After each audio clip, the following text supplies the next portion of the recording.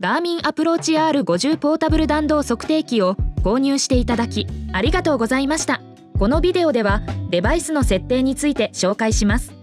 初めて箱を開けるとデバイスが入っている専用キャリングケースや電源ケーブルケースストラップなどがあります。ケースストラップクリップをケースの側面に取り付け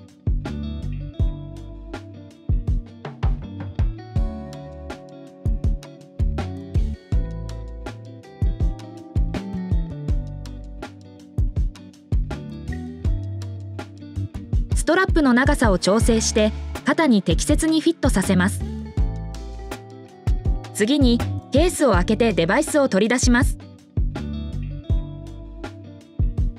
ケースの後ろには50枚のステッカーが5枚入っています。これらのステッカーは最高のスイングデータ結果を得るために各クラブフェースの中央上部に貼る必要があります。ゴルフ練習場または電源のない屋外セットアップ用に持ち出す前にデバイスを完全に充電することをお勧めします。デバイスを充電するには AC アダプターを電源ケーブルに接続しデバイス背面にあるケーブルポートの蓋を開き AC アダプターの端子を電源ポートに接続し電源ケーブルをコンセントに差し込みます。デバイスをヒッティングエリアに置く前にデバイスを設定しましょう。ディスプレイの左側にある電源ボタンを押してデバイスの電源をオンにします。また再び押すとデバイスをスリープモードに移行することができます。利用する言語を変更する必要がある場合起動アニメーションが表示されたら画面中央の言語ボックスを選択してください。開始するを選択して設定を始めましょう。ここでは近くの Wi-Fi ネットワークのリストが表示されます。ラウンドデータの同期やホーム T ヒーローコースのダウンロードまたはその他のサービスを使用する場合は Wi-Fi 接続が必要です。使用中に Wi-Fi 接続が不要な機能もいくつかあります。詳細は操作マニュアルをご参照ください。利用するネットワークを選択してパスワードを入力します。完了後接続を選択すると地域とタイムゾーンが表示されます。正しくない場合は項目を選択してオプションをスクロールし正しい項目を選択します。完了後次へを選択します。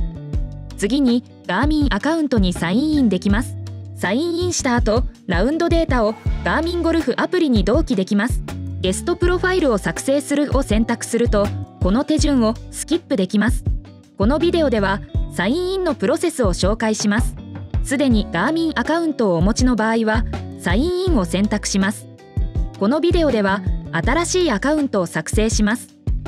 新しいガーミンアカウントを作成するを選択します。画面指示に従って情報を入力します。次に引き手を選択して次へを選択します。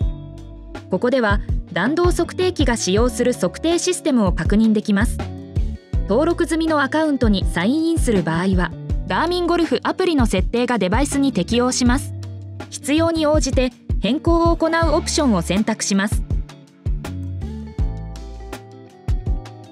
完了後完了を選択します。またデバイス所有者をガーミンアカウントに登録する場合は「はい」を選択してください。これでメインのユーザー選択画面に移動します。ここではユーザーの追加やユーザーの編集設定デバイスのシャットダウンなどを選択できます。ユーザーの追加を完了後各ユーザーのアバターが表示されます。プレイを開始するにはユーザーアバターを選択します。メイン画面では次のゲームプレイオプションから選択できます。ドライビングレンジ機能で楽しく練習したりウィークリートーナメントを含むホームティーヒーローコースにアクセスしたり互換性があるサービスに接続したりします。まだメイン画面右下のアイコンを選択するとクラブセットや練習セッションのデータゴルフシミュレーターのスコアカードとデバイスの設定を確認できます。デバイスの設定ではシステムの設定を調整することができます。例えばディスプレイと輝度やソフトウェア更新ダウンロード済みコースなどを確認できます。プレイを始める前に外部ディスプレイに表示する方法とデバイスの設置について紹介します。デバイスにはケーブルポートの上に AV ポートがあります。AV ポートを使用してディスプレイをテレビやプロジェクターに表示できます。最後にデバイスとターゲットの設置方法について紹介します。T 位置を設定する際 T 位置とデバイスが同じ高さにあることを確認してください。ボールをネットに打つ場合 T 位置からネットまでとヒッティングエリアの後ろまでに少なくとも2メートル離れていることを確認してください。このエリアは気持ちよくスイングできる場所であることが必要です。それではターゲットラインとボールのセット位置を設定しましょう。ターゲットラインはボールのセット位置を通ってデバイスの前面と平行になります。ネットやスクリーンに打つ場合。デバイスの前面がスクリーンに対して垂直になる必要があります。ただしドライビングレンジ練習する際にデバイスの前面と平行でない特定のターゲットがある場合はターゲットアライメント機能を利用してターゲットラインを調整できます。詳細は操作マニュアルを参照して調整してください。デバイスを床に設置する場合デバイスを T1 から横に約0.5メートル離れた場所に設置します。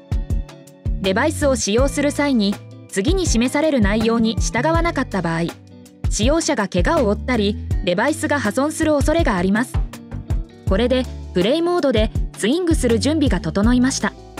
プレイを選択するとコースをダウンロードする必要があります。次にセッションに最大4人のプレイヤーを追加して各プレイヤーの T 位置を選択します。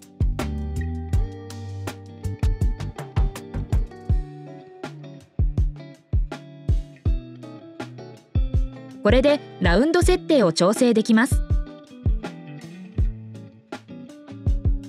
最後にプレイ開始を選択します。以上です。ご視聴ありがとうございました。詳細はガーミンサポートセンターホームページをご参照ください。